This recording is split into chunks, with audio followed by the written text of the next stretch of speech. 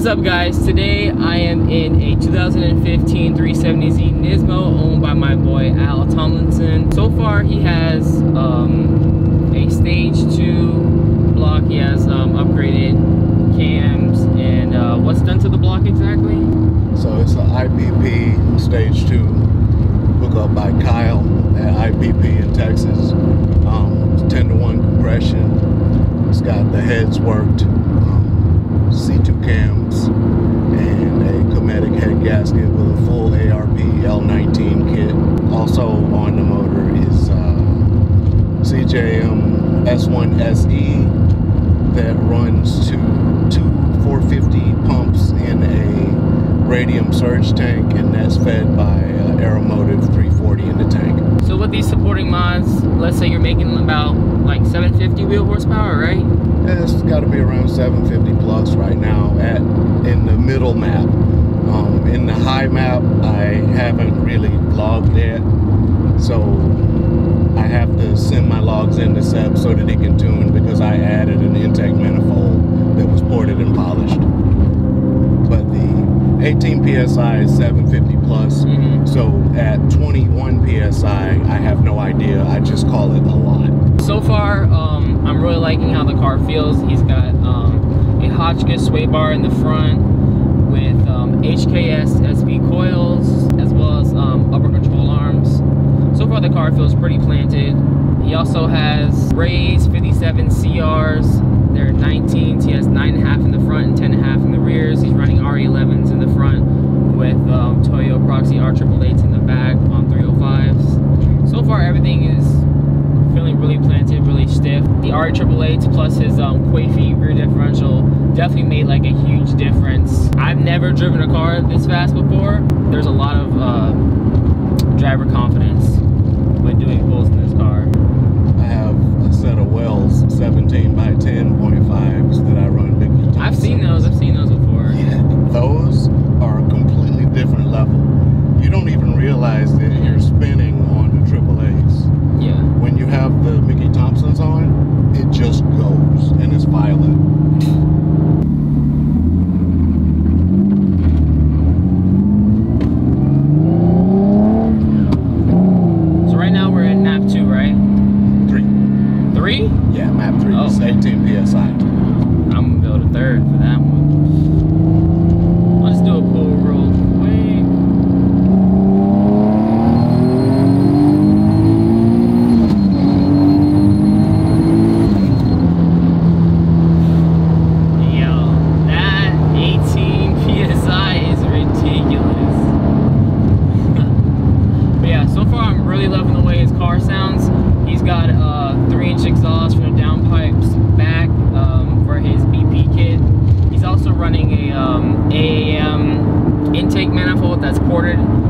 helped him gain about an extra 35 wheel horsepower just on an intake manifold, which is kind of ridiculous.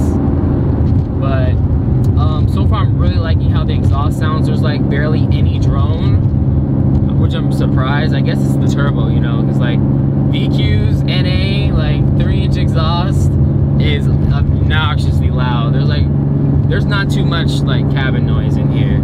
It's actually quieter with a turbo than it is. Yeah. Uh, when it's NA. It's usually when you have a NA 370Z with a 3 inch exhaust, it sounds like a trumpet almost.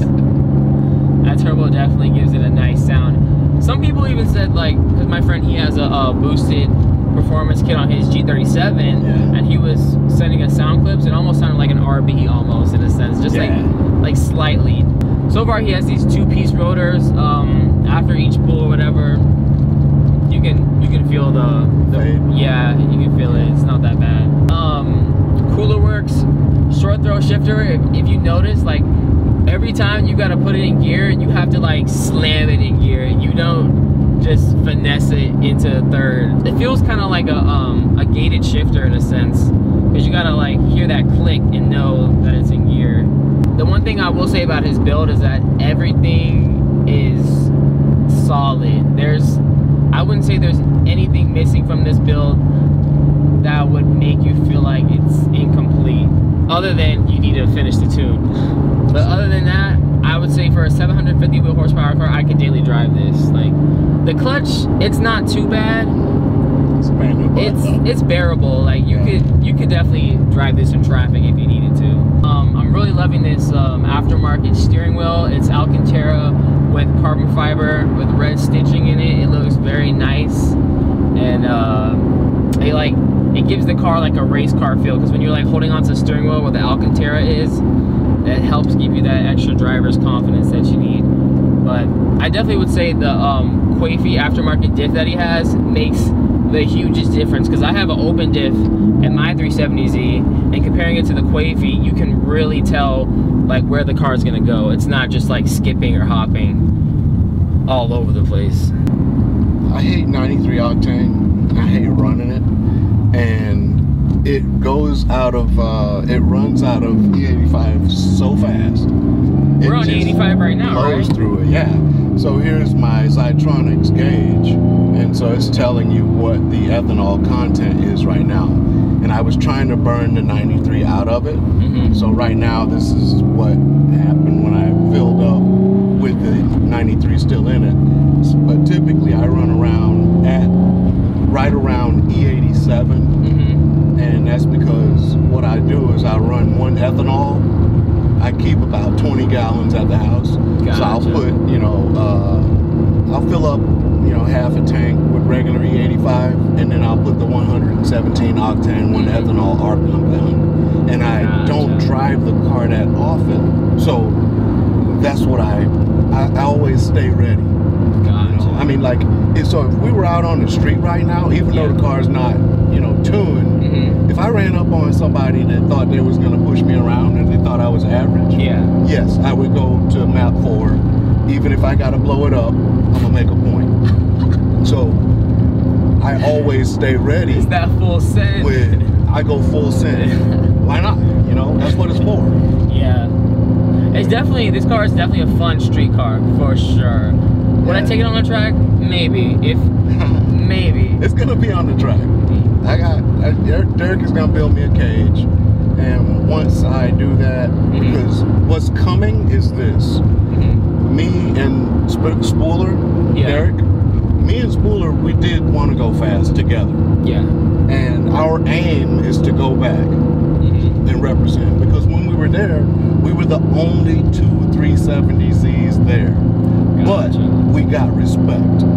And Yeah. if anybody goes back and you look at October of 19, want to go fast results, Yeah. then you see me and Derek at the top of our class. Mhm. You know, I mean, I wasn't first, Yeah. but I definitely wasn't in the bottom. Gotcha. And we just had respect.